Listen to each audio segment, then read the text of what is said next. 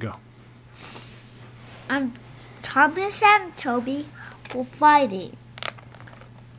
I mean, arguing. And then Molly came.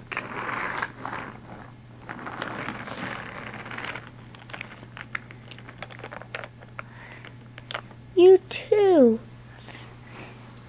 But there's a better way for you both to Andy by taking turns. So who should go first? Well, who's ever